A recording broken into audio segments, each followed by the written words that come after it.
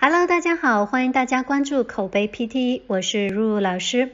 Read aloud 这个题型会有三十五秒左右准备的时间，朗读的时候需要注意语速适中、自然连贯、元音饱满、辅音清晰，要读出意群和重弱读。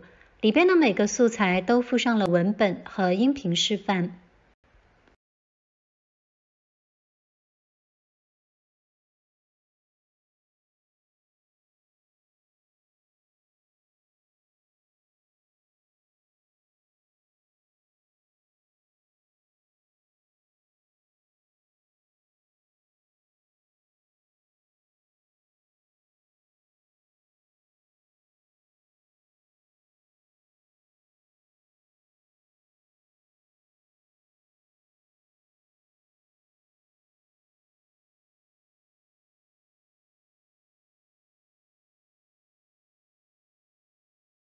The most powerful storm this year has caused the evacuation of over 200,000 people.